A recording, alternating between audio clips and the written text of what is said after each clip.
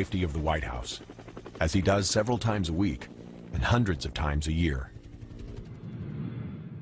But a presidential trip is never routine. Any visit outside the White House requires hundreds of people, thousands of hours, and enough communication and security equipment to outfit an army. Since the president travels constantly, the Secret Service is always a step ahead, preparing what they call advancing several sites at a time. This team is advancing Baton Rouge, while other teams are on the ground advancing sites in Texas, Connecticut, Pennsylvania, and Ohio. Everywhere the president goes, the security bubble goes too. Every trip the president makes is a challenge. And for us, it's, um, it's game day every time he leaves the White House property. It's our Super Bowl. The Secret Service has five days to secure this site. The arena at Louisiana State University, where President Bush will deliver the commencement address. For the advance team, it's a challenging site to control. With over 14,000 seats and more than 100 entrances. The protective measures start at the arena, but will expand outwards to include the university and even hundreds of miles beyond the city of Baton Rouge. The preparation is mind-boggling. The security advance begins here with Kim Tate, special agent in charge of the New Orleans field office.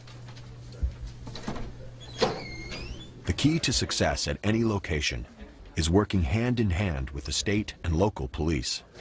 Many agents started as cops, so they speak the same language. Good morning. Thank you for coming. I'm pleased to find myself in a room filled with seasoned professionals. I'm Kim Tate. They discuss every aspect of the trip, assess every danger. Has anyone in the area threatened the president? Have gun sales surged? Have any police uniforms been stolen? To prevent an attack, they have to get inside the heads of the attackers. So I have a, a map there. Uh, what I want to talk about right now, uh, while we're all here, is the uh, motorcade route coming from the airport. The team maps out the most secure route for the motorcade. Out to uh, Veterans Boulevard brings us to Harding. Identifies potential sniper positions, pinpoints safe houses along the way, locates the nearest hospitals, and arranges for the president to have his own blood supply. From here to Government Street. Nothing will be left to chance. Four-lane or divided highway the whole route. As you prepare your security advance this week and on game day, when you put that plan into action, keep this in mind. Somewhere, a group of people are meeting just like we are, but their intentions are entirely different than ours. They plan to disrupt, to compromise the secure environment that we provide for the president. I like to call it the, the assassin's funnel. You know, you have the, the lone gunman, you have the suicide bombers to deal with. It can be a bomb, it can be a package. We have an obligation to try to think ahead, to try to find the things that they might attack next, and try to be ahead of the curve. When your mission is to protect the president, you don't underestimate the enemy. Protect the man, protect the symbol, protect the office. This is the mandate of the U.S. Secret Service. A purposely unmarked building in downtown Washington, D.C. is the nerve center for thousands in the Secret Service who work in domestic and international operations. This is the headquarters of the Secret Service. The enormous responsibilities for the agency ultimately lie on the shoulders of this man, the director of the Secret Service, Ralph Basham. As a career agent who rose through the ranks, Basham knows the mission here boils down to one thing, How's everyone today? preparation. We're going to talk about the Baton Rouge trip. If you think about our mission, it's about prevention. We don't want to deal uh, after the fact with an incident. We want to prevent the incident from happening. So that's why so much time and so much effort, so many resources go into the preparation for those kinds of events. Not many people know what the Secret Service does, and that's exactly how they like it. The image of the agent guarding the president is ingrained in our minds. But the Secret Service does a lot more than protect.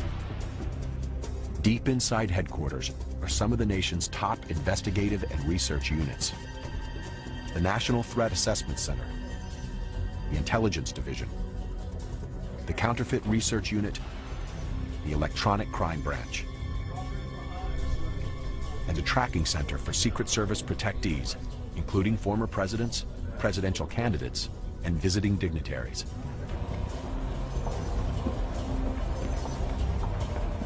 And then there's a room that hums with information so sensitive that its location can never be revealed.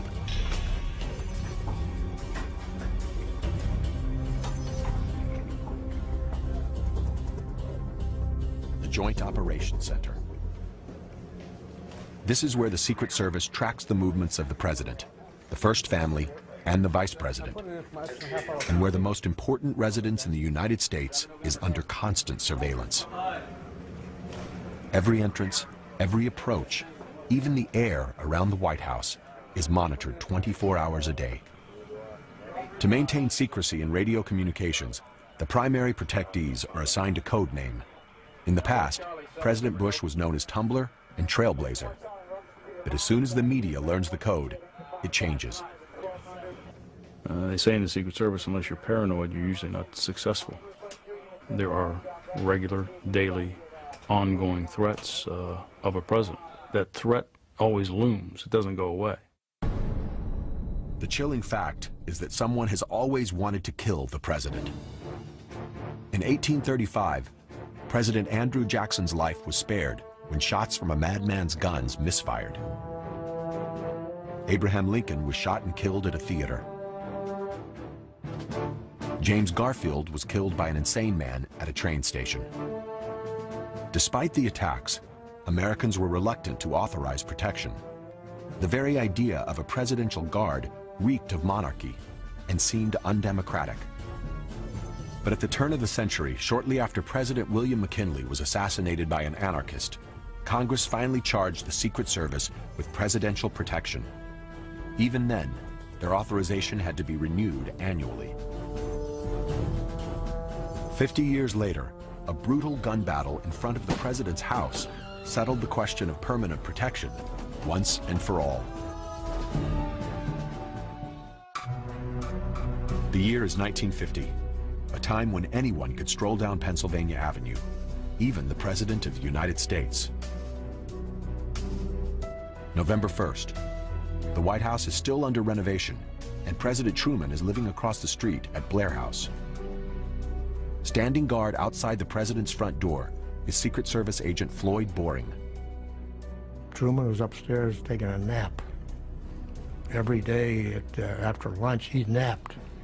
And then he got up, got himself ready to go back to work. 2.15 p.m. Two men approach the front steps. Oscar Collazo, a Puerto Rican nationalist, approaches from the east.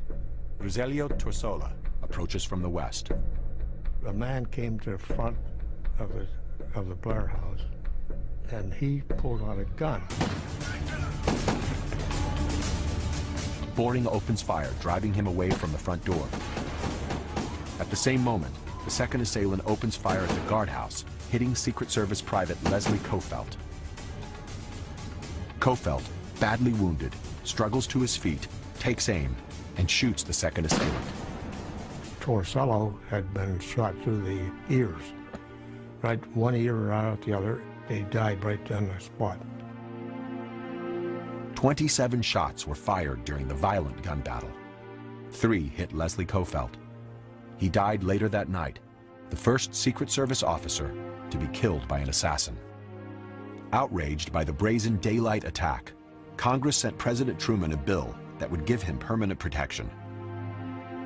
Pen in hand, he said, It's wonderful to know that the work of protecting me has, at last, become legal. The bloody shootout meant that the days of an easily accessible president were gone. The threat of violence would force him to step away from the people who had elected him, toward the well-armed safety of the agents. It's T minus four. Four days until the president arrives. The Secret Service advance team sets up a command center in an undisclosed hotel suite. The room is completely transformed. The beds are removed. Secure phones are brought in. There will be no room service, and the room will not be cleaned. We'll just play with it. Right. You can make almost, we'll tweak it. Thank you. We're going to have 5,200 people coming in. I'll just ask for all the information to be finalized for tomorrow. The site where the president will give his speech is a vast arena. Site advance agent Lawrence Tucker and supervisor Tom McCarthy go over the security plans. We're looking at uh, approximately between 13 and 14,000 people uh, in here on the ground level and on uh, up. Only through the eyes of a Secret Service agent can an empty arena seem so ominous. A monster at 74,000 square feet. Where could the threat come from? So where is that? Assailants could slip in through any of the 130 entrances, pose as a graduate in any of the 14,000 seats. And mags are going to be set up on the far end? The, the mags will be set up on this end, sir. A sniper could hide in the catwalks above or in air ducts in the floor below. Five or six What about, posts uh, on top and two on the catwalk. Potted plants could conceal bombs. So could seat pads on the 850 chairs on the floor. The task is daunting. Sounds good. This is a, a pretty uh, huge undertaking. You're going to have, you know, over 13,000 people in this venue. Especially for a venue this size, you got to make sure that the whole outer perimeter is taken care of. Everybody has to be on the same uh, sheet of music.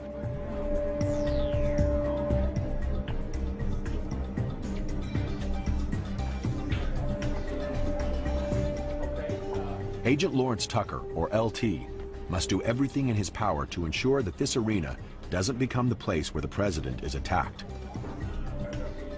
LT is a member of the Presidential Protective Division, or PPD, a group of agents who have risen through the ranks and earned the assignment to protect the president. They stand at the president's shoulder. They are the shield. It's an honor, but a potentially deadly one. The area around the president is known in the business as the kill zone.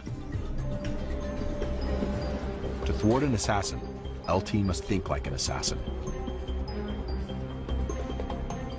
From the adjoining building, he and his team can get an aerial look at the arena and see where their plan is vulnerable.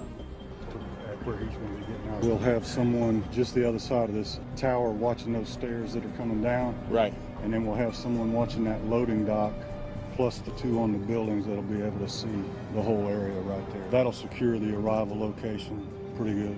Okay. Fine with me. Okay. Good. Back at the command center, LT pinpoints and eliminates site threats. But protecting the president is far bigger than securing any one event. In Washington, a global threat analysis is always underway. This is the threat on the president's life. He's dead, okay? I want to blow up the White House and the Capitol building. At headquarters, specialists assess the constant stream of threats made against the president. The Secret Service won't say how many threats are made, only that every threat is investigated. Yes. If I'm woken up, if I'm woken up at 3.30 in the morning again, I'll assassinate President Clinton. These recordings usually come from the agency's intelligence division, collected from calls into the White House, local police, and radio and television stations. Well, most of the time the recordings come in, um, there, there's a lot of noise on it. So first we try and remove the noise as much as possible without damaging the voice. And I'm gonna blow up the president and I'm gonna kill him. So you guys can like have a fun time there, cause like we're we're gonna kill him. Schwartz listens for features in the caller's voice, accent, dialect, or speech defects, There, like we're we're gonna kill him. any nuance that may help to set the voice apart and identify it. I want to blow up the White House and the Capitol building. Who is threatening the president? He's dead, okay? The answer is never simple. History has shown us that assassins come in all shapes and forms. We've had them from, uh, from young men all the way to uh, uh, women that were grandmothers who have actually made attempts to assassinate uh, our protectees. So every threat is taken very seriously. Agents are also trained to distinguish between those that make threats and those who can carry them out. We now teach our agents, to look at how someone's organized or not. Do they have the capacity to travel? Do they have the capacity to obtain weapons? We'll go through the questions several times. Keep your feet flat on the floor, eyes straight ahead. If an agent thinks someone is dangerous, they may bring them in for questioning. Did you write any of those threatening letters? No. Did you plan with anybody to kill the President of the United States? No. Virtually every letter contains some traceable clue. We refer to ourselves uh, as uh, CSI without the commercials. It's almost impossible to threaten the president in a letter and remain anonymous. Through an amazing array of techniques, the Secret Service will eventually hunt you down. The Forensic Information System for Handwriting, or FISH, is a database filled with thousands of threat letters. Each time a new letter comes in, it's scanned, analyzed, and compared with other letters to try and identify repeat offenders. We received this threatening letter from the field, and it was a threat against President. And right now, Jacqueline is measuring it in fish to compare it to all the other letters that we have in our fish system. The same letter will also be subjected to an intense fingerprint scan. Once a print is imported from the threat letter, a database searches the millions of prints to find the best matches. Fingerprints, palm prints, and even foot and toe prints. Even the ink and the paper can be traced. The Secret Service has the largest collection of inks in the world, nearly 8,000, dating from the turn of the century and collected from around the world. Chemical analysis of the paper can reveal how it was processed, even the kind of trees used to make it. This is the end of the line for the threat letter. Here the procedure will ultimately destroy the evidence. The letter is put into a chemical bath, which reveals remnants of the author's DNA. The residue will turn a purplish color. Latent fingerprints and any grease or oils are now exposed. The clues gleaned from all the labs are combined to create a profile of a potential suspect.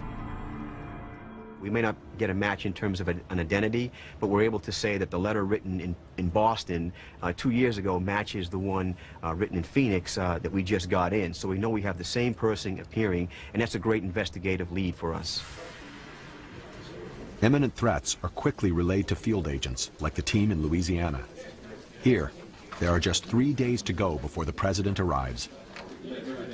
They've scouted the site. Now they refine their plan. Good evening, everybody. Let's uh, get this done. We're three days out before game day. Everybody should know where they need to be. Just remember all your paperwork and uh, everything that needs to be turned in. Uh, we're going to go over some uh, administrative stuff now, and then uh, we'll uh, key in on the technical stuff. No one has ever been privy to the security plans of the Secret Service, and no one ever will.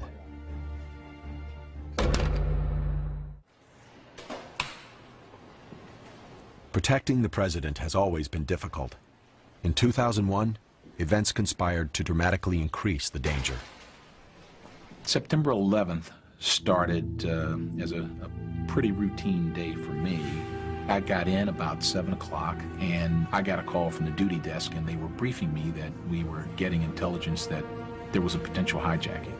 So we activated the crisis center. Deep inside headquarters in a top secret room, managers and directors began to assess the nature of the hijacking. The first plane um, hit, I believe, the north towers um, of the World Trade Center at about 8:45. I thought and hoped that it was an accident, uh, but when the second one hit, uh, uh, we knew that it wasn't. To some agents, it seemed that someone was trying to decapitate the U.S. government. We activated our continuity of government plan and we uh, deployed agents to uh, locate and uh, remain with anyone in the line of succession. Secret Service protection now extended to the Speaker of the House, the President pro tempore of the Senate, and the Secretary of State. One of the first things we do, obviously, is to locate uh, all of our protectees from the President on down not only for the president and the vice president, but for their families, for former presidents, for foreign dignitaries or heads of state who may be in this country. What's important for us is that we have a plan. If you don't have a plan, the game's over before you begin. In a state of emergency, the Secret Service's plan is to get every protectee to a secure site. We got calls that uh, there appeared to be a plane headed for the White House. And we had immediately called the vice president's detail. There was no time for chit chat, no time for, you know, will you come with us? I mean, they just took him. Vice President Cheney said, My feet never touched the floor. Meanwhile, the president wanted to get back to Washington. We agreed that coming back to Washington was not a good decision. So there was discussion uh, on Air Force One between the agent in charge, the uh, president, the vice president, the director of the Secret Service was involved in several conversations, and the national security advisor as to what actions would take place. With Washington and New York in a state of chaos, the Secret Service put the president aboard Air Force One, the one place where they controlled all the variables. There was a very deliberate mood in here. There was a lot of determination and focus on the part of everyone in here to do their job, something that we had trained for and planned for, but had hoped would never happen. And we were watching on television as uh, the towers collapsed.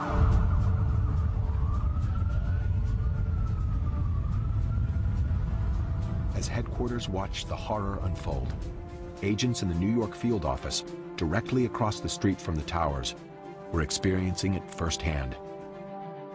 We moved out onto the West Side Highway, where I'm absolutely proud to say uh, agents of the Secret Service were conducting triage.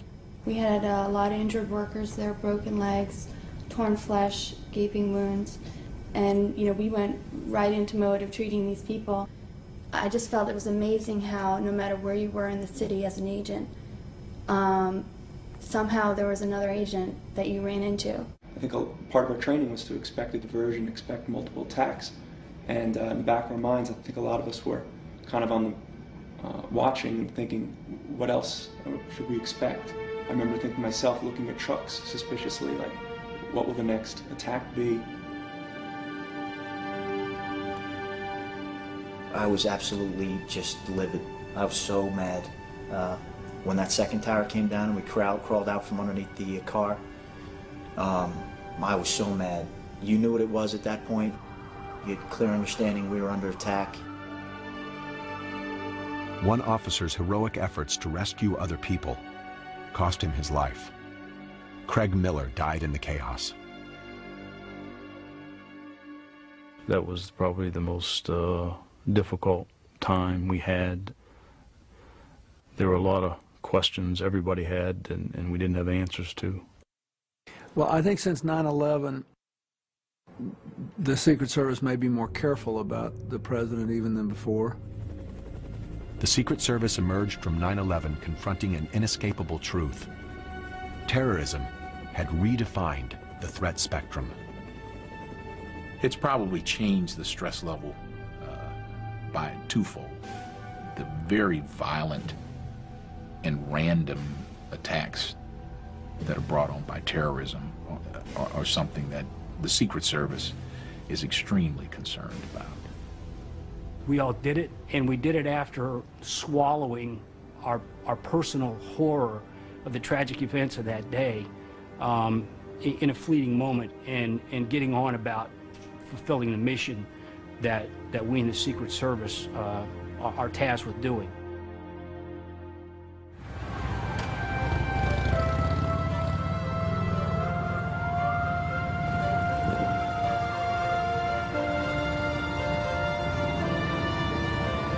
Presidential motorcade is on the move.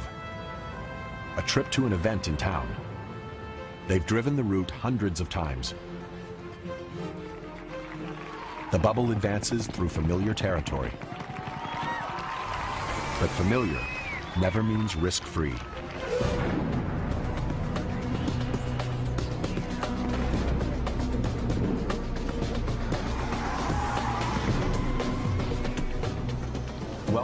Beltsville, Maryland, training grounds for the Secret Service.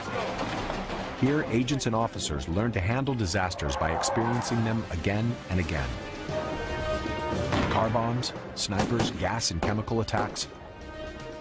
A chilling variety of assassination attempts are launched against the agents in training. There may be instincts that all of us are born with to, to move away from danger versus moving toward it. One of the things that the Secret Service does through its training programs is, is take that out of you. You're hearing shots go off, shots be fired, and you're still responding to the problem, not running away from it. Thick forest surrounds the Beltsville compound, making it invisible from the road. But inside, it feels and sounds like a Hollywood backlot. There's a tactical village with a main street and building facades to scale. And half of Air Force One. This is where Secret Service agents come to prepare mentally and physically for the worst. Okay, guys, obviously we've given you the worst case scenarios in our training here today. Hopefully you'll be able to respond without thinking, so in the real world, if the extreme happens, you'll be able to do it and be successful.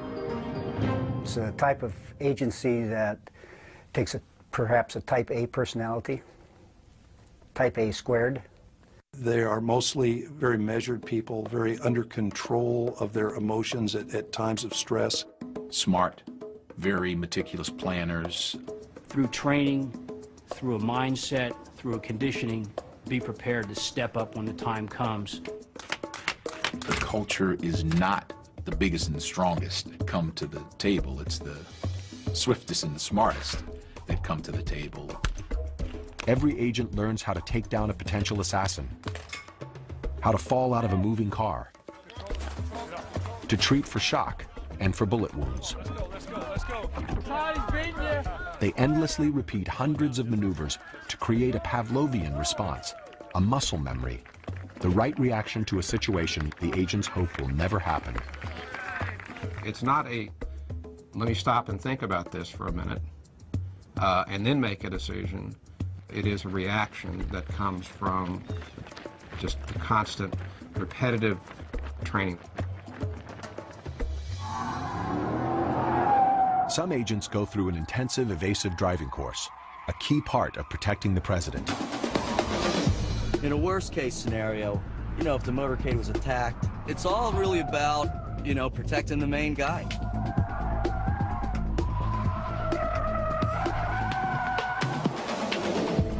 These agents are practicing the J-turn, a tire screeching pivot with a tight stop and an immediate change in direction.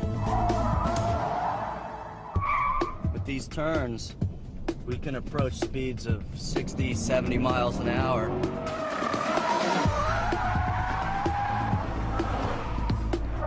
They practice in Camaros, but they'll use their skills on the real thing, Suburbans and limos that weigh much more. Well, they call me Super Dave. They, they think I'm a little crazy out here. I like to go as fast as the car can go all the time. And I'll be the guy that experiments. Like, if they want to experiment with something, I'm all for trying it.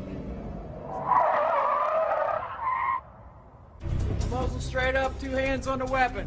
For agents who work closest to a protectee, training is even more intense and demanding. Their standard weapon is a 357 semi-automatic pistol. Other weapons of choice include the M16 and the MP5 submachine gun. Shoots will be your final facing. Shooting side. The Secret Service requires each agent to qualify with a firearm every month. Because they may be called upon to open fire in a crowd or from a moving vehicle, agents must learn rapid, accurate firing. And the training never stops. Agents on presidential details must return to sharpen their skills two weeks out of every eight. Worthy of trust and confidence, commitment and dedication, attention to detail. And that is instilled from the first day that an agent uh, becomes a member of the organization. You plan for the unexpected because you know you only get one shot. Either either you're trusted or you're not. In a basement garage in New York, a different kind of training is underway. These agents are preparing not to protect the president, but to protect the lifeblood of our economy, the U.S. currency. There's a good possibility that we encounter these two guys today, that they're packing as well. Everybody wear your vest. Vests are not an option, all right? Two weeks ago, agents in the New York office broke up a ring of Eastern European counterfeiters. Today, the Secret Service squad is heading out to recreate the bust for training purposes. Most people don't know that more than half of the entire Secret Service staff is dedicated to investigating counterfeit currency and electronic fraud. I think a lot of it has to do with the fact that the public doesn't really know what we do. I think they uh, they're under uh, the premise that we all fly around in capes and that we're bulletproof and that we're part of some secret association with a secret handshake.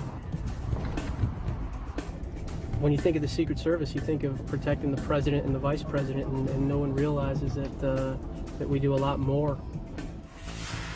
The Secret Service was created in 1865 to stop counterfeiters. At the end of the Civil War, counterfeit money was so rampant that it posed a serious threat to the nation's banking system. As much as one half of the nation's money supply was fake. The Secret Service's mission was to restore public confidence in the country's money.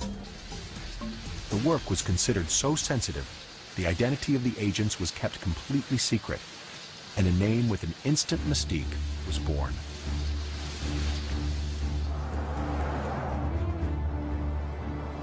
Almost 140 years later, the Secret Service is still on the case.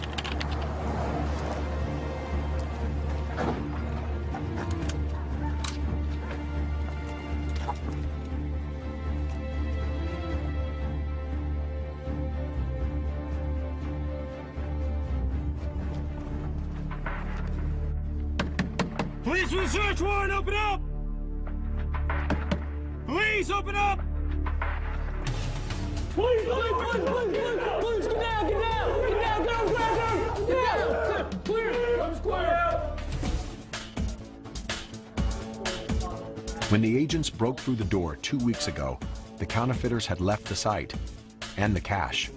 Oh yeah, that's the money. There it is. Get some more pictures of us. If they hadn't been busted, half a million dollars, all fake paper, could have made it to the street. Money, money, very nice, very nice.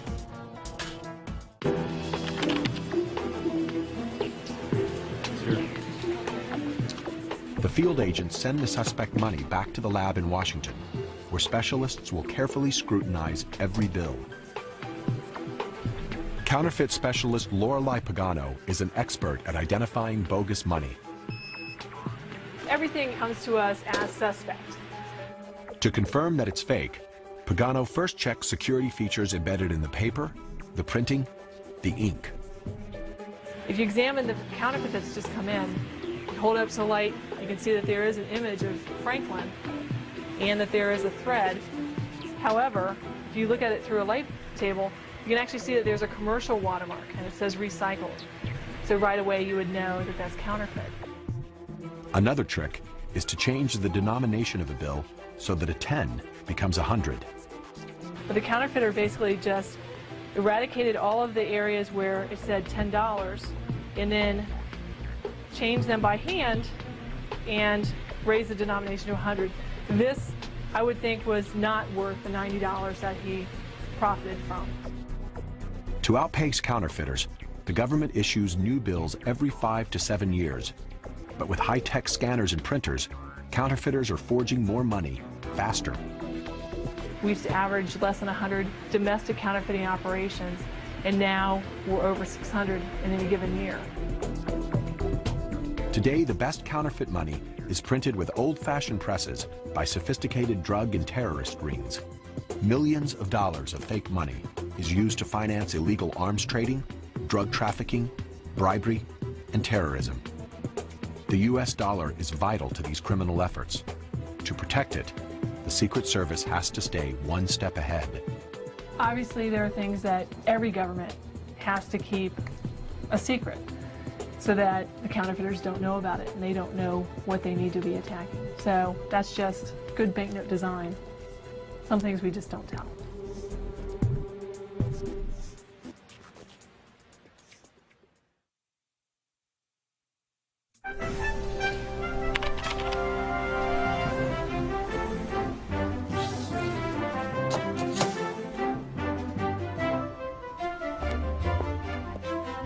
Undisclosed location, Agent Ken Valentine cleans and polishes the president's car.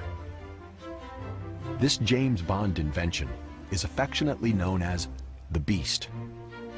I'll tell you that the car has two limitations as far as we're concerned. It doesn't fly and it doesn't float.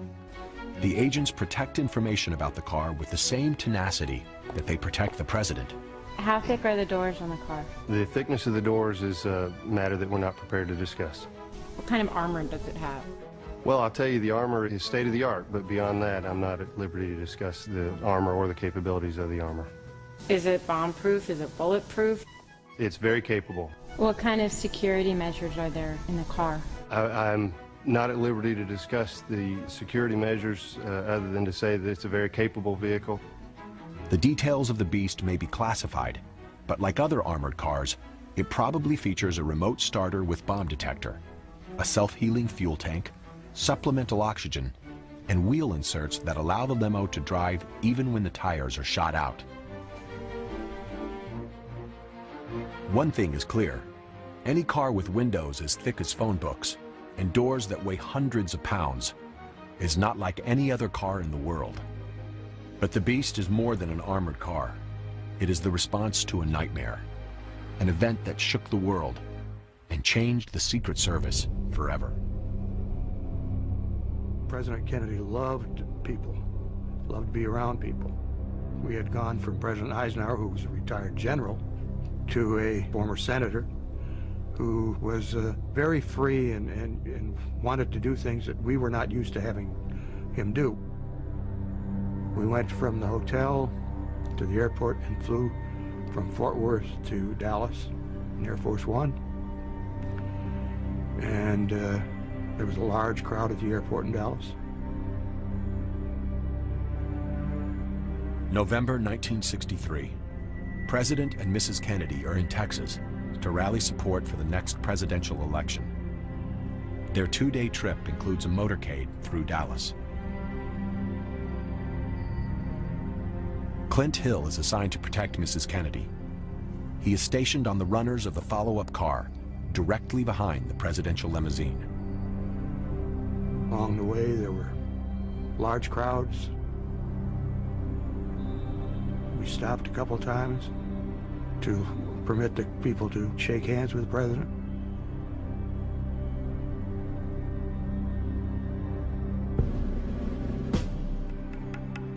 When we got into the central part of Dallas, the crowds were larger.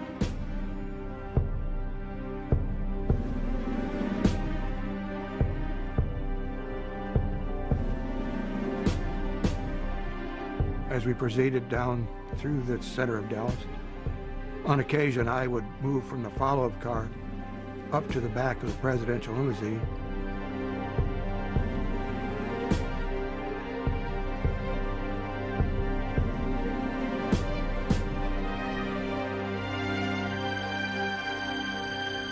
Shortly after we got into that turn and started on that street, I heard a sound. I turned to see what was happening. I knew something was wrong. I saw President Kennedy grab at his throat. Before I could get to the presidential limousine, another shot had been fired and hit President Kennedy in the head. About that time, I reached the back of the limousine and tried to get on. I had to run three or four more steps before I could get up. By that time, Mrs. Kennedy had come out onto the trunk and was seeing, it appeared to me to be searching for something or trying to retrieve something. But I got up on the back of the car and placed her back in the seat. The president at that time, his slipped down into her lap, and I could see the back of his head, and there was a gaping hole above his right ear, about the size of my palm and there was white brain matter and red blood throughout the entire car. We then, the car jolted forward and we sped off to Parkland Hospital.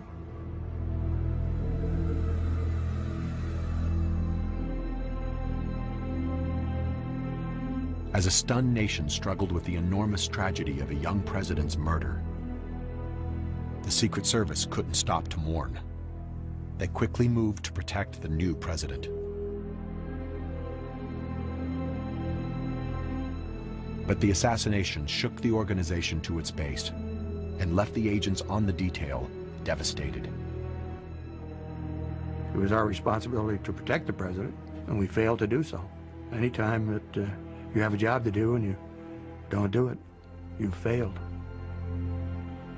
The failure to protect Kennedy forced the Secret Service to ask difficult questions. Should the president be allowed to ride in an open car? Should motorcade routes be published in advance? And should those routes follow paths where the president could be an easy mark? Whatever the answers, things would never change for Clint Hill. It's something that will never go away. I still, still have nightmares about it. It bothered me from that point on, uh, and it got progressively worse. Eventually, that's the reason I retired, is that the doctors finally told me that you just can't go on. Unfortunately, that particular day, all the advantages went to the shooter. The assassination is still a defining moment, not only for the agency, but for every agent who has ever taken the oath. You don't think about your wife or your children or your own life. Your, your whole focus is to save the president. And I'm sure that's what went through Clint's head as he bolted for that, to that car, barely making it, but he got back there, and because it was too late. And uh, we're, we're all different from that. I mean, we're just different from having having lived through it. If eternity has to remember me for something that was that tragic, I just couldn't live with myself. So, you know, my philosophy was it won't happen on my watch. It can't happen on my watch because I can't live with it. The assassination forced the Secret Service to rethink protection. Training was completely revamped. The number of agents jumped dramatically, and the service developed state-of-the-art threat assessment abilities riding in an open car would become the rare exception to the rule. The car would become armored and sealed, a rolling fortress, the very embodiment of the protective bubble.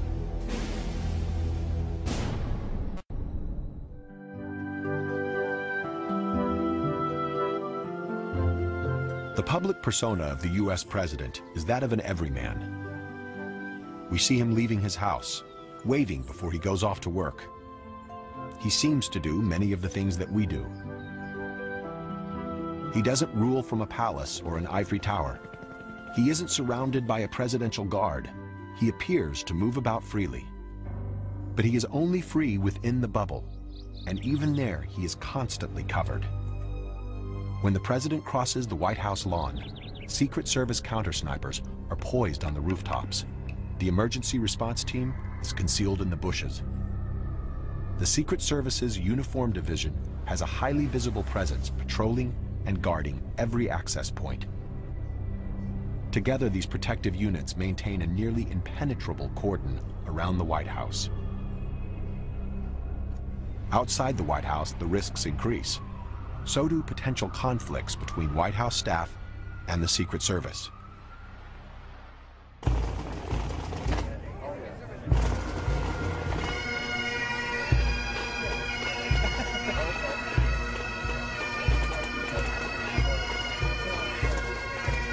Politics and protection are like oil and water. You really have to have a good blender in order to get it to work right. You know, if we had our way, we would probably bring the president out once a year in a bulletproof capsule and show everybody that he's alive and then take him back into the White House. If the uh, staff had their way, he'd be out shaking hands with the public on a day-to-day -day basis. I've said this many times that uh, the Secret Service is uh, is there to keep them safe, and that's not uh, always consistent with making them happy. There are times when you're with with uh, a protectee where you have to tell them, you know, we're not going to go in this door, we're going to go over to this door. But later, he's probably going to tap you on the shoulder and go, why did we do that? And I would suggest that you have a pretty good answer. What happens when politics vies with protection? Negotiation. Larry Cockell led the presidential detail for Bill Clinton. He remarked once that of all the people that uh, he interacted with and of all the uh, authority and power of the president, that the Secret Service was the only uh, entity around him that would tell him no. So I don't think there was ever an instance where I overruled the president, but I found a way to make him see my point. Sometimes the agent simply has to make a dangerous situation work. The president, uh, he, he wanted to go to Bangladesh and Pakistan, uh, which for all intents and purposes would have been going into Al Qaeda's backyard. I had to actually prepare to try to talk him out of going, but at the same time, I had to prepare to take him there in the event that he wasn't going to uh, take my advice. We went down to Cartagena when a lot of people were saying, don't go down there. The drugs, drug warlords are out of control at Cartagena in Colombia. And uh, I said, we got the Secret Service. I'm not going to worry about that. Now, the president, more than any other time, is in a cocoon. The problem of a president being more and more isolated from mainstream America and from the way people live and the way they think is a problem that eventually going to come to regret in the sense that it went too far. It's hard to say that any measure to keep a president safe goes too far, but just think about it. It's a necessary evil to have 24-hour protection. It's a necessary evil to plan and, and meticulously orchestrate travel to ensure that nothing goes wrong. It's a high-stakes game. Preparation for that high-stakes game has reached a dramatic stage at the Baton Rouge airport. It's T-minus two and counting. Two days until the president arrives, and the invasion has begun. The Secret Service arrives in force. Two Air Force C-141 cargo planes packed with tons of equipment and enough manpower to staff a small army have landed. Inside, every imaginable security tool. Metal detectors and communications equipment. K-9 bomb sniffers and their handlers.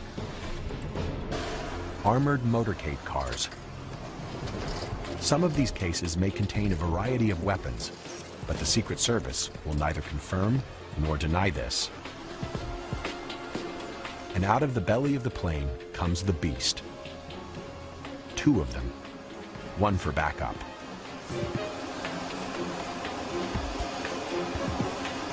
The Secret Service team expands to include counter-sniper and counter-assault teams, technicians and support staff, drivers and spotters, doubling the number of agents and officers on the ground.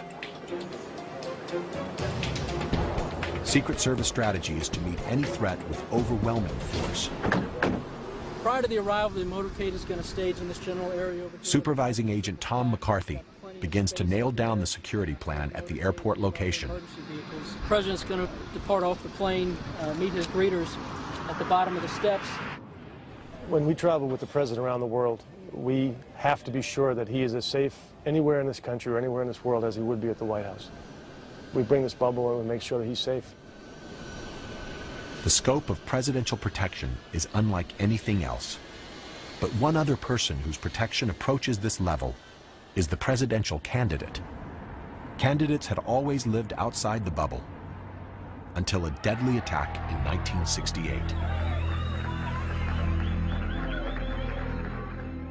American troops and American Marines. June 5th, 1968. Presidential candidate Robert F. Kennedy has just pulled off a dramatic primary victory in California. As he leaves the hotel through a jubilant, uncontrolled crowd, a Palestinian student, Sirhan Sirhan, steps forward and fires seven shots at point-blank range. It's the first time in United States history that a presidential candidate is gunned down on the campaign trail. Today, the Secret Service automatically protects the candidate 120 days before the election. For candidate John Kerry, it's his first time inside the protective bubble.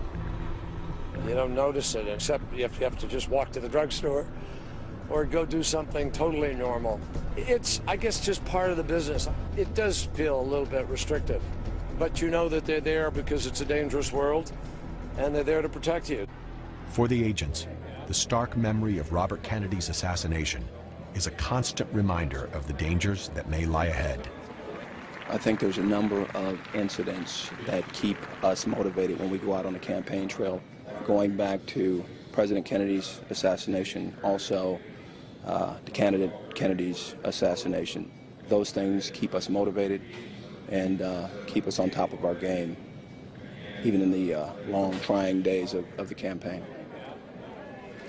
Though the protection isn't quite presidential, it's still intense because the risks are just as high. This is a unique visit uh, today in, in Davenport, Iowa, because the president is visiting here simultaneously with Senator Kerry. What happens when not one, but two Secret Service bubbles hit the same town at once? In Davenport, local authorities were stretched, and local bank robbers had a field day, knocking off three banks. The whole point of the campaign for any candidate is to connect with the crowd. The agents have to balance the candidate's desire to be in the crowd with the safety measures needed to keep him alive.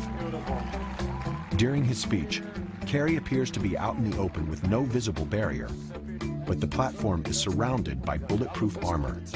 What the crowd sees is a campaign banner. Agents take positions at the sides of the stage, and a Suburban stands by to whisk Kerry away if there's trouble.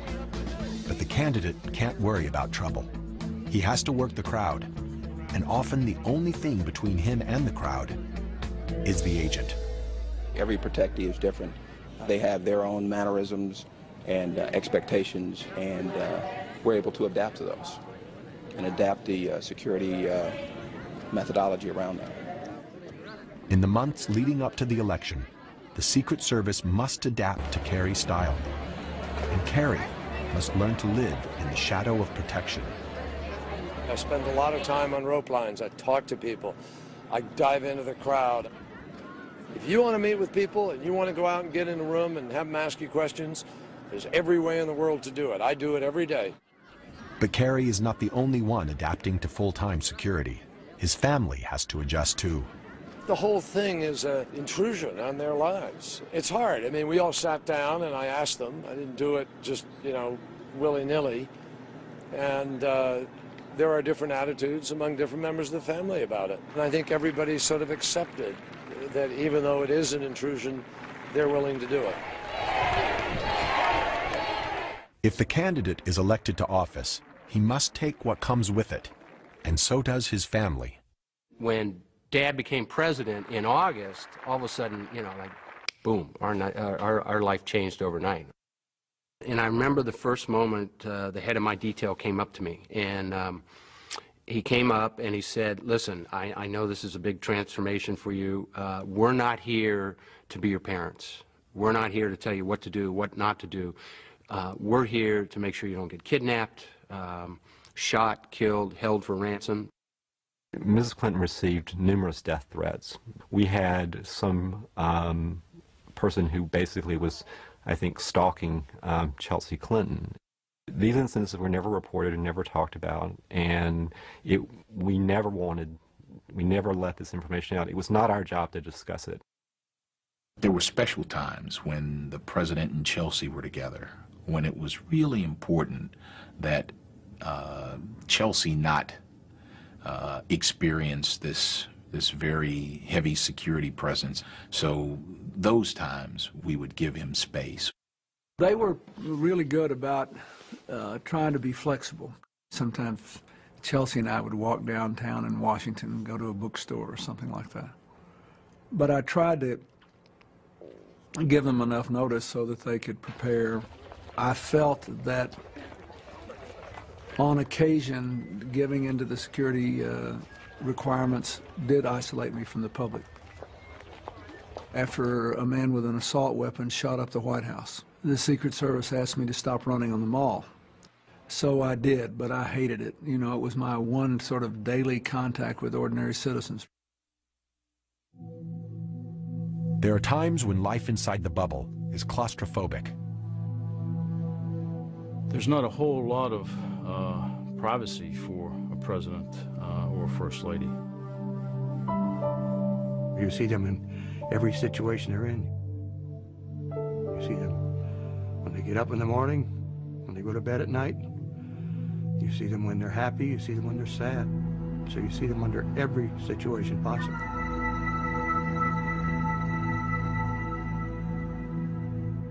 People say, well, how can you live that way with somebody at your front door all the time? Or you walk out to go for a short walk and there's a Secret Service person. It can be annoying from time to time to have people following you literally every step during the, during the day. Presidents are no different than, than anyone else. They simply need their space, and you try to give them that. They simply need to go out for a run, and you try to give them that opportunity to do that in the most secure environment that you can provide. That's a part that this, I don't think this, a lot of people understand about the Secret Service. We're trying to make these people's lives as normal as we can, even though they are, they are protected on a 24-hour basis. There are only a few rooms in the White House where the president and his family can be truly alone. So much proximity means very little privacy. The agent must be absolutely trustworthy. Discretion is essential. I don't know about other first families, but I know that Barbara and I talk very frankly in front of them. Uh, always did and always will because we have total trust in their professionalism in their discipline. Uh, so, that, but they they know a lot of secrets about our own family, personal, intimate stuff about our kids and grandchildren and all of that. The Secret Service is in the front seat of the car when the president's riding with people talking about anything from national security to sensitive political matters to, you know, personal family matters. What you hear and what you see uh, if they're of personal nature, if they're of a national security nature, uh, uh, has to stay uh, with you. In 1998, the issue of agent confidentiality was put to the test. Independent counsel Ken Starr subpoenaed several Secret Service agents and officers, including lead agent Larry Cockell, to question him about President Clinton's affair. The Starr investigation wanted the agents to testify about personal conversations that they'd overheard, and um, that's just that's just not what they would ever do. We internally in the organization uh, didn't want to be perceived as flies on the wall. I've been present when when sensitive family issues were discussed, and as much as possible, I didn't want to hear. I didn't want to know. I didn't, I felt awkward being present, but I knew my, my presence was compelled by law. The Secret Service contended that requiring testimony from their agents and officers about the very people they protected compromised the essential trust necessary to keep them safe. We felt very strongly that our agents shouldn't have been uh, summoned uh, to testify in that grand jury. We still don't think it's correct. Uh, we argued that all the way to the Supreme Court. But the Supreme Court ruled that the Secret Service was not immune to subpoena power, and ultimately, Agent Larry Cockell and the others were compelled to testify. It was one of the few times in history that the Secret Service was forced to violate the unwritten code of confidentiality that is their trademark. A difficult job just got tougher. It was a tough time for the Secret Service. We all felt that uh, that it's awkward to to uh, compel uh, anyone to to be subjected to a set of circumstances and then use it against them. ID, sir. Thank you. Thank you. T minus one. 24 hours before the president arrives. More agents and officers stream in for a final Secret Service briefing. The agenda is so sensitive, there's even security screening for the security briefing. First, I want to thank Lou Velez. Has created a tremendous security plan here. Okay, we'll go ahead and get started. It's Friday, May 21st, 9:15 a.m. President Bush arrives at the Baton Rouge Metropolitan Airport. The advance team runs through the entire security plan so that every team member knows their role. New threat assessments are reported and potential responses are built into the plan. By game day, the details of the plan will be so ingrained, execution will be second nature. The team appears to have doubled in size, again. But the Secret Service will not reveal the size of their force. We've had our people in place here working with the local law enforcement for over a week now. We're finalizing all the uh, details tonight. We're very confident that tomorrow will be a success. Uh, and once we complete tomorrow, we'll go on the road and do it again someplace else. Remarkably, while this Secret Service team advances the LSU event, other teams are advancing five more sites around the country. The president makes hundreds of trips per year.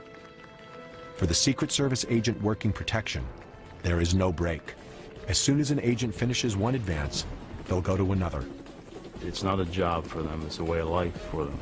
It's a lot about being patriotic, and it's a lot about doing the right thing. It's not all 007. Yeah, there's some very difficult times. There's times away from home. There's times that you can't be there for Christmas. There's times that you can't be there for birthdays. Our wives and children would probably say that there's only one family, and that was the Secret Service. At the time, I didn't understand how stressful it was. I would say during the time I was in charge of uh, uh, President Clinton's detail, I can't remember a night that I had more than three hours of continuous sleep. To limit the toll, agents generally work no more than five years on the presidential detail. It takes a great deal of concentration to continue to do what you have to do. But you never know what's around the corner. Everybody burns out. No one maintains an edge constantly. There's a great support network amongst the agents, and I think we all watched each other to ensure that the stress didn't overtake us, that we, we paid attention to friends and colleagues working around us. There is a brotherhood among agents. You're bonded to those guys forever. It's uh, one for all and all for one kind of situation. You live together, you eat together, sleep together, you work side by side. These are people I, I, I literally grew up with. They're like uh, childhood friends, if you will. There's nothing I wouldn't do for them. At the same time, I know there's nothing they wouldn't do for me. Agents need that kind of support, especially during presidential campaign season. Campaigns are unpredictable and largely unscripted.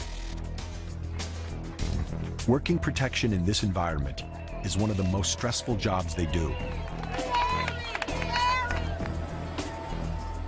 Some of the toughest challenges are unannounced stops. Instances where the candidate decides to get off the bus and the schedule and meet the people. On these off-the-record stops known as OTRs, the agents have no choice but to follow the candidate. In a campaign, there's no way of screening every individual that comes out to greet the candidate. When he decides to go out and press the flesh, the agents can't stand in front of him. They have to be to the side, so he's exposed. In August of 2004, candidate Kerry's bus makes several unannounced stops between Davenport, Iowa, and Hannibal, Missouri.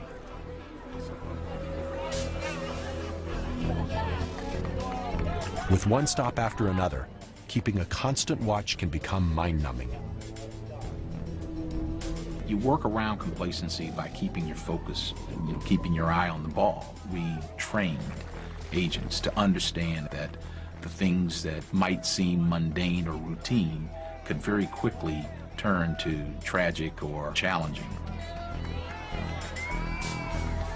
You have to maintain that focus, and there can be no distraction. And that all comes down to discipline. We pride ourselves on anticipating potentially anything that could occur and then preparing for it. Hold them on the other side of the caution tape. You can't drop your guard. You can't stop looking. Sir, take your hands out of your pockets. At every location, the Secret Service will ask people to show their hands to make sure no weapons are concealed. To the agents, even a pen is potentially dangerous. Sir, sir, can you take your hands out of your pocket? Thank you. You know, you can scan a crowd quite rapidly and, and pick out somebody that's acting strange, dressed differently. You're looking for the unusual. Maybe uh, just, just doing some strange thing that catches your attention. An unannounced stop is still something that is allowed.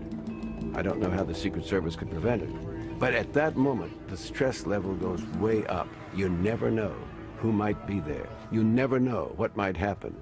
And you watch them, and they're looking, they're looking at the hands, they're looking through the crowd. Nice to see you. Yes, yes, yes. Oh, your baby. And you just see it in their eyes, and you see it in their body movements. This is a high point of stress. This is the most dangerous point. September 5th, 1975. President Gerald Ford has just finished a speech and is on his way to the California State Capitol building. His motorcade is waiting. But it's a beautiful day. The Capitol building is just across a park, and President Ford spontaneously decides to walk. Agent Larry Buendorf is working on President Ford's protective detail. He walked out of the hotel, and there was a crowd that was across the park at the time that was cheering for him. He decided to walk. So this creates a lot of tension within the agents themselves because we're now going into an environment that is not controlled. We don't like to do that. You got the media, they're running with their cameras. We're trying to watch the president, watch the crowd. People started shaking hands, and you know sometimes they hold on too long, and so you're very busy trying to keep the crowd away, and there's so much going on.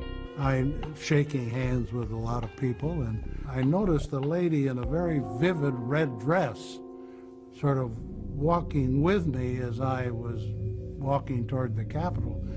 And all of a sudden, I went to shake hands. I see a hand coming up with a gun. And I'm thinking at the time I'm going for this. And I stepped in front of the president.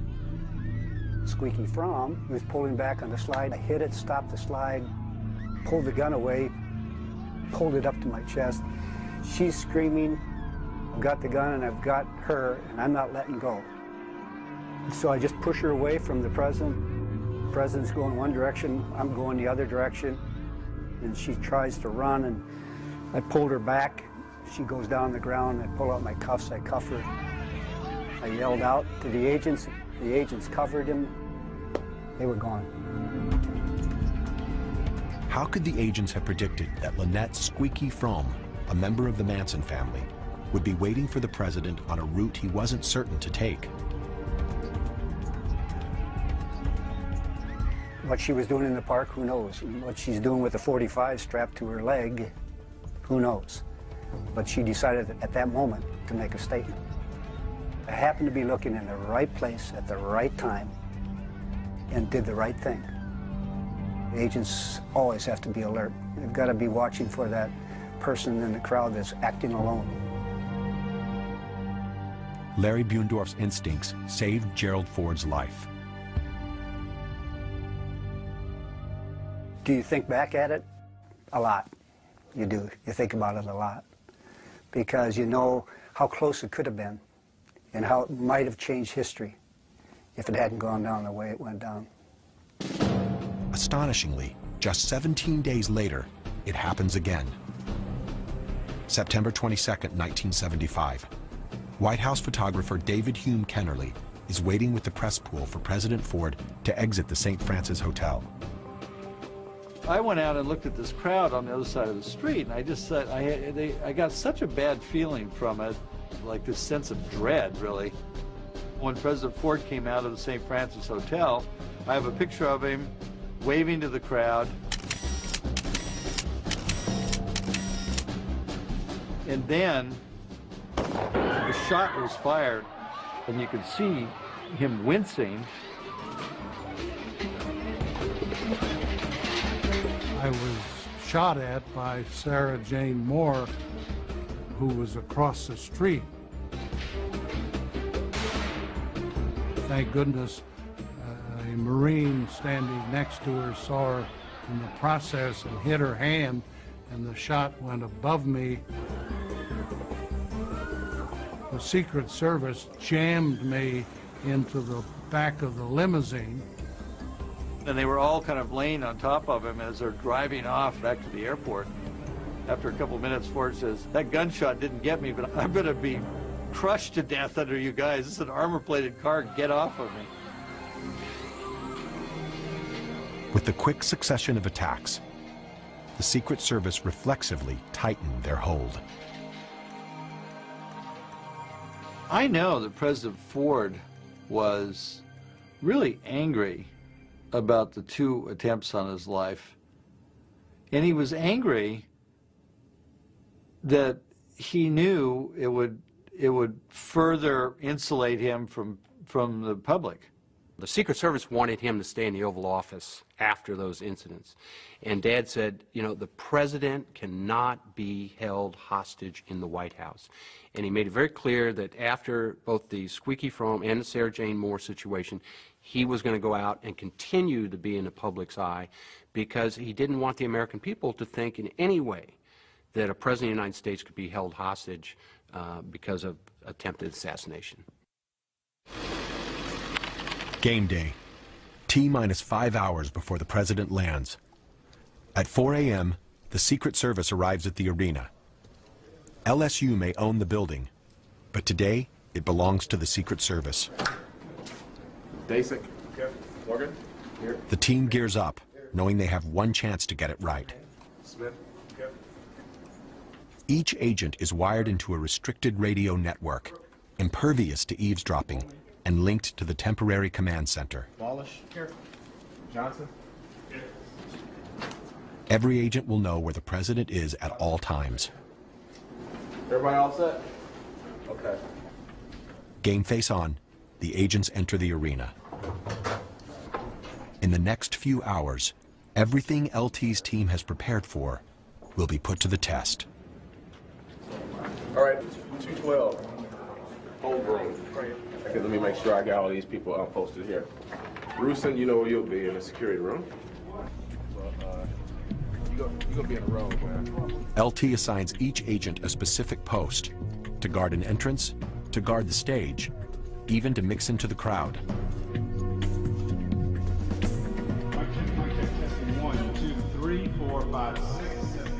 At T minus three hours, the Secret Service hold on the arena begins to tighten.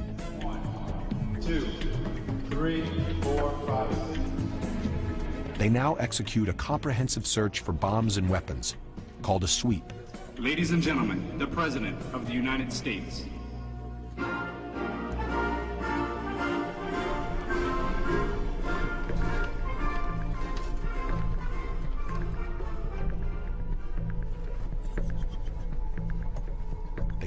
Every plant, every band instrument, and all 14,000 seats.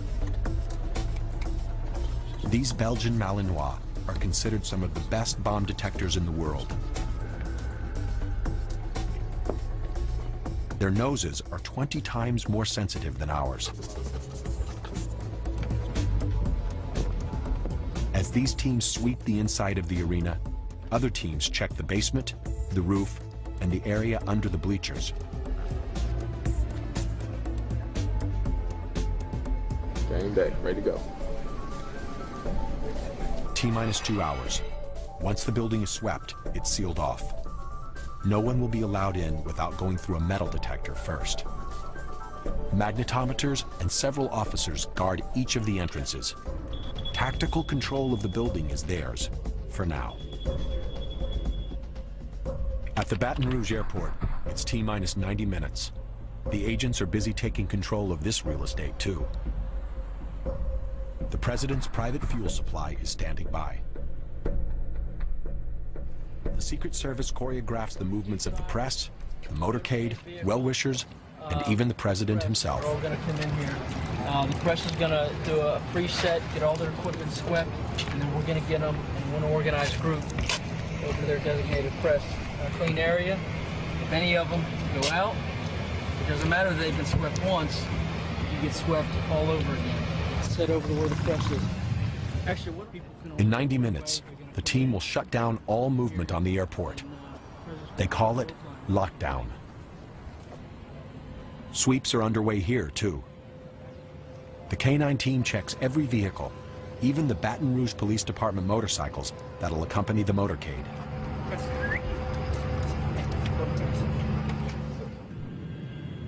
T-minus 15 minutes until the president arrives. The Secret Service counter-sniper team stands ready. At T-minus five minutes, the Baton Rouge airport is temporarily closed. Only Air Force One is clear to approach. On the ground, anything or anyone that moves will get immediate attention from the counter-sniper teams. Their measures may seem extreme, but the agents know that history has a violent way of repeating itself. It's a very routine trip from the White House to the Washington Hilton Hotel. The president gave a speech to the Building Trades Union. He left about 2.27 p.m. that day, and we were walking toward the car. When the president came out of the door and started to his limousine, and some of us began to shout at him. Remember the lady behind me saying, Mr. Reagan, Mr. President.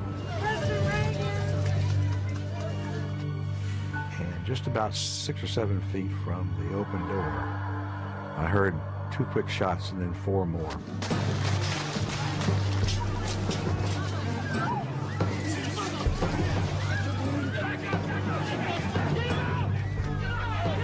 The first two shots hit Mr. Brady and Officer Delahanty, and the third one hit McCarthy because we're pushing uh, the president behind McCarthy.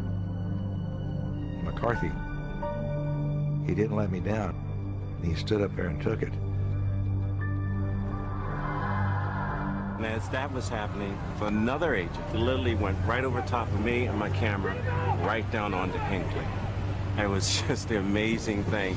Give me a squat, Park! Move back into the car! What I remember vividly is Parr's grabbing the president, taking his head, carefully, quickly putting it down and pushing him into the limo. As we know now, a bullet struck the rim of the door, ricocheted into President Reagan. But at that moment, no one knew that. The door was shut, the feet were thrown in. At that moment, I yelled for the driver to leave quickly. Get out of the way! You don't know whether it's a organized attack. You don't know whether it's a decapitation strike. There's a lot of things you don't know. As the limo speeds toward the White House, Agent Jerry Parr searches President Reagan for gunshot wounds. Everything looks okay until the president starts spitting up bright, frothy blood. In that instant, Parr makes the decision of his life. I knew from my training that this meant uh, some kind of a lung injury, and said I just said we got to take him to the hospital. Parr orders the limo to change direction, and it races toward the hospital. President Reagan walked a few steps in the emergency room and collapsed and almost died. I don't play up myself on this simply because Tim McCarthy made a heroic gesture in standing up. Everybody shot down and McCarthy's the only one standing up. Agent Tim McCarthy did what every agent hopes he'll never have to do. Using his body as a shield, he turned into the line of fire. He took a bullet for the president.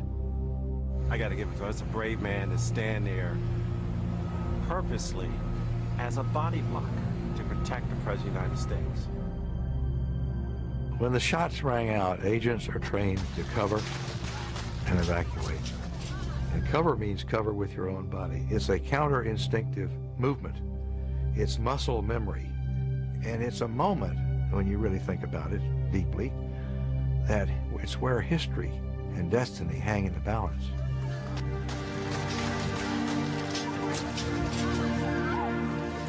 It's where all your training and truth come together in that one moment. Fortunately, no one died that day. The president, Agent McCarthy, and Officer Delahanty all recovered. But Reagan Press Secretary James Brady was severely wounded and permanently disabled. So what did the Secret Service do for Ronald Reagan that day? Well, they didn't prevent John Hinckley from shooting him. The rules were such that civilians, without having been checked by a magnetometer, could be right there on the line, and one of them had a gun. But once the shots came, they performed brilliantly. and they saved the president's life. The assassination attempt forced the Secret Service to ratchet up protective measures even more. Plan for the worst and hope for the best.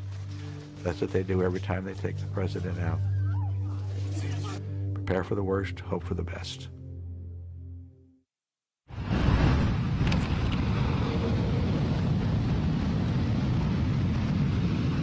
Nine fifteen a.m. Zero hour. The enormous preparation is over. It's game on. You can think of the Secret Service as a conductor of a large orchestra, but the musicians are made up of the police and fire and emergency uh, uh, medical services. When we met for the first time earlier this week, it was to announce that we had a performance. We didn't have a musical score. We didn't have a security plan. During this past week, we came up with that composition. Today is the event.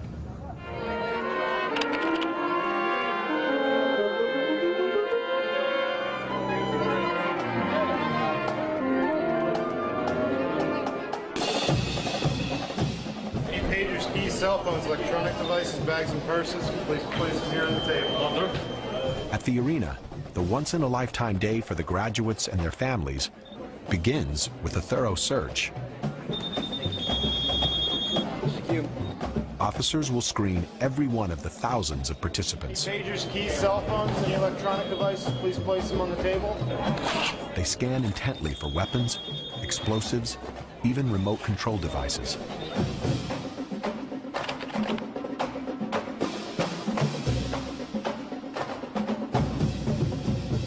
President exits Air Force One as the security rolls out ahead of him.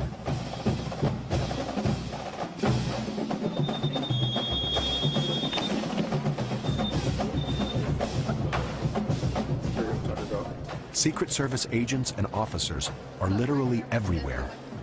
If they do their job well, the heavy security will feel invisible. The graduation will take center stage. They dress to blend in with the crowd, their suits tailored to conceal the weapon each one carries. The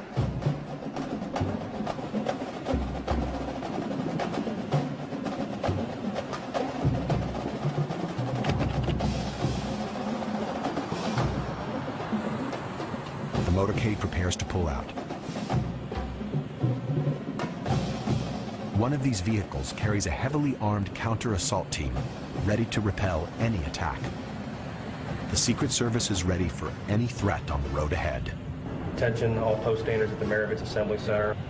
We have departure from POTUS to this location.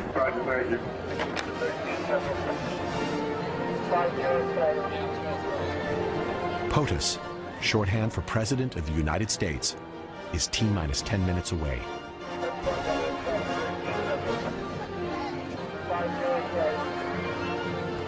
For LT and his team, this is it. This is the moment they've trained for. Protection is in the details, and everything is rechecked because every agent knows there's always a chance that something could go wrong.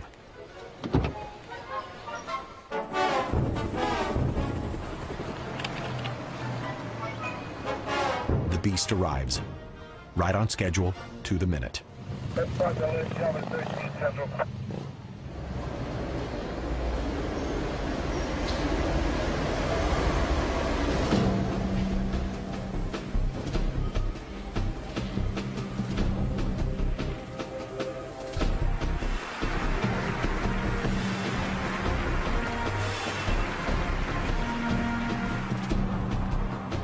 Supervising Agent Tom McCarthy takes his final position on stage.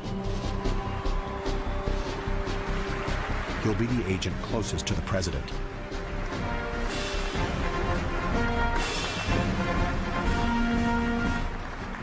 Ladies and gentlemen, the President of the United States.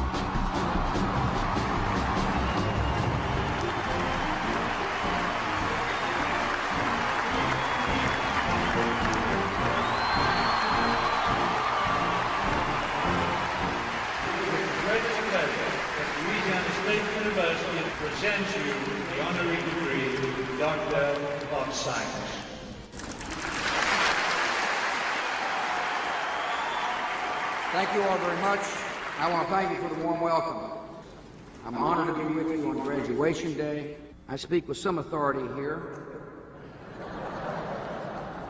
I've seen how things can work out pretty well for a C student.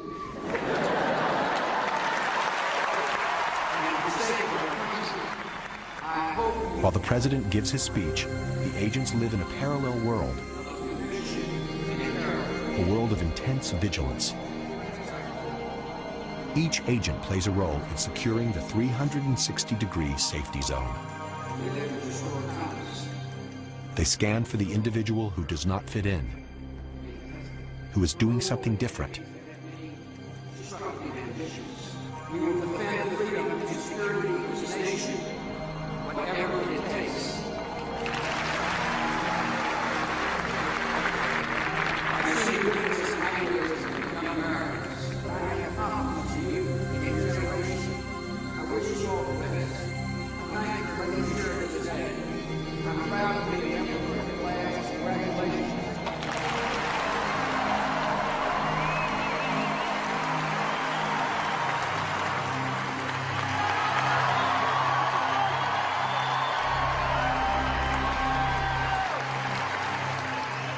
As the president exits the stage, he veers off course and off the plan. It is the one unchoreographed moment of his visit.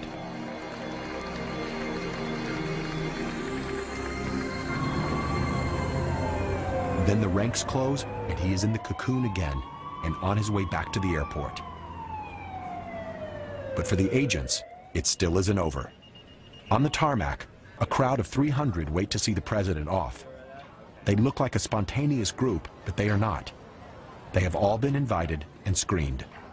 They are temporary guests inside the bubble.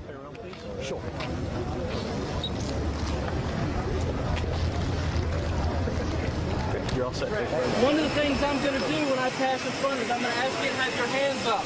Just have your hands out here like this, ready to shake the president's hand, okay? That's all I ask. when you stop and think about all the things that have to occur to keep that well-oiled machine running, the responsibility, the dedication, the many sacrifices that people make day in and day out, it's just truly incredible. For the Secret Service, it was a good day. Nothing happened.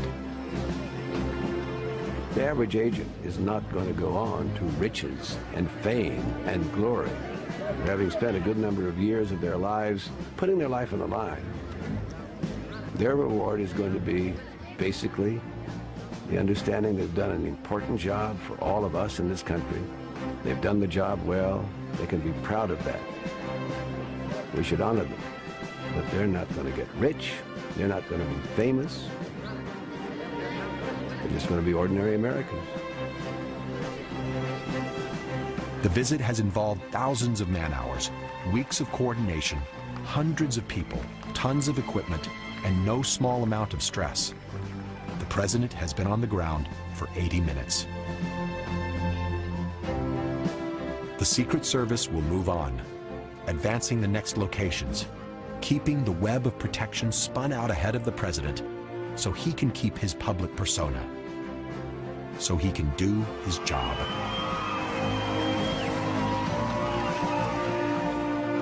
It was an incredible experience.